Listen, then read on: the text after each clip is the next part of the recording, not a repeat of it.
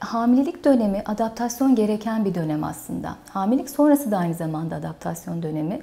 Ee, Şimdi kadın bir kere gebelik süresi boyunca ciddi e, hem fiziksel değişimler yaşıyor, hem hormonal değişimler yaşıyor, hem de buna paralel olarak da duygusal değişimler yaşıyor.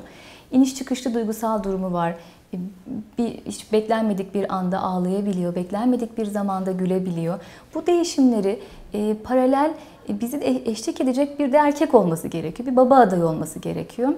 Bu noktada bazen karmaşa olabiliyor. Çünkü kadın bunları yaşarken erkek aynı şeyleri yaşamıyor. Aynı hormonlar erkek için değişmiyor. Fiziksel bir değişim de yaşamıyor. Dolayısıyla aynısını tahmin etmek çok mümkün olmuyor erkek tarafından. İşte burada sorun başlıyor aslında. Çift arasında sorun başlıyor.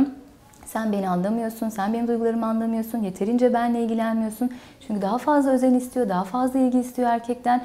Erkek de bu noktada bazen pes edebiliyor, bu noktada kavgalar çıkabiliyor. Dolayısıyla gebelik süreciyle birlikte aslında eşlerin kendi iletişim becerileri de devreye giriyor. Buralarda özellikle gebelik öncesinde karı koca arasında sağlıklı bir iletişim kurulamamışsa bu adaptasyon gereken yeni dönemle birlikte aslında sınanıyor. Yeni bir kriz dönemi başlıyor. Dolayısıyla kadın ve erkek bu noktada çünkü bir de annelik ve babalık rolleri buraya eklenecek. Bununla ilgili kadın erkeğin de babalıkla ilgili kaygıları var. Birçok kaygı beraberinde yaşandığı için ve doğru iletişim kanalları da kullanılmazsa burada kadın ve erkek arasında evlilik içerisinde sıkıntılı süreçler yaşanabilir.